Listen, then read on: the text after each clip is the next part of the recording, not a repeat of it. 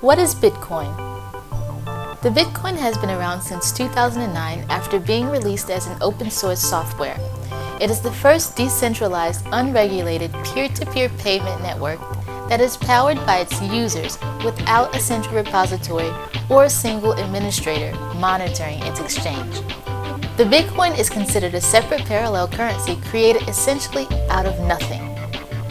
Bitcoin wallets hold a secret piece of data called a private key or seed which is used to affirm transactions. This code provides the necessary mathematical proof that the finances have come from the owner of the wallet.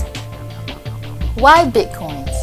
Bitcoins can be used to buy merchandise and services in addition to being exchanged for other currencies anonymously. International payments are made easy and cheap because Bitcoins are not fixed to any specific country or subject to regulation. Small businesses may see an advantage to using the Bitcoin because there are no fees attached to the payment like there are with credit cards or PayPal accounts. Some individuals buy Bitcoins as an investment hoping that they will increase in value. The Bitcoin software can be installed on your computer or mobile device and is very easy to use. Its currency exchange value is attained by investors, similar to the stock market. Buyers drive the market value up, while sellers decrease the value.